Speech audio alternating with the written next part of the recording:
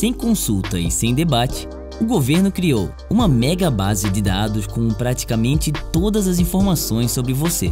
Na prática, a canetada do presidente criou uma ferramenta de vigilância estatal imensa, que vai bem além de informações pessoais básicas como CPF, filiação e data de nascimento. Ela inclui também características biológicas e comportamentais mensuráveis que podem ser coletadas para reconhecimento automatizado. Estamos falando da palma das mãos, digitais, íris e retina, rosto, voz e até maneira de andar.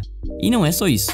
No decreto 10.047, o governo detalha as bases de dados que serão replicadas no Cadastro Nacional de Informações Sociais, o CNIS, e são mais de 50, incluindo registros de veículos, frequência escolar e informações de saúde, tudo atrelado ao seu CPF.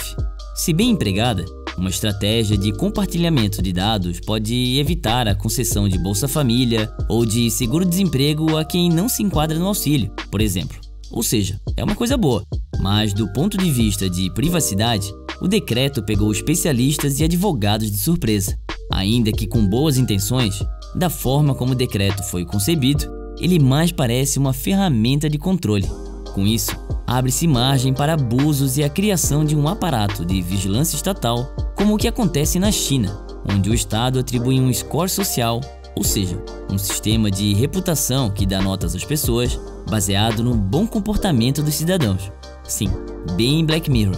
Isso vai na contramão da Lei Geral de Proteção de Dados, que entra em vigor a partir de agosto de 2020 e foi um avanço importante na proteção à privacidade, porque, pela primeira vez, regras mais claras foram estabelecidas para definir como o governo e as empresas devem lidar com as nossas informações. Eu vou deixar o link aqui na descrição do vídeo, mas só para dar um exemplo.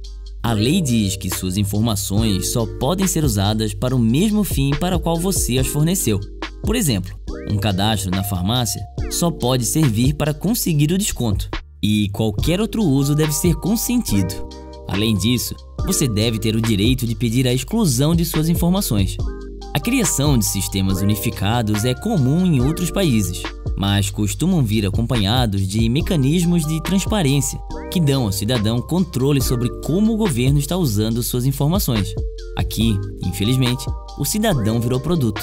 Caberá a um comitê formado apenas por sete representantes do governo gerenciar esse fluxo dos dados. Não há membros da academia, do mercado ou da sociedade civil no conselho. Especialistas poderão ser ouvidos, mas sem poder de voto.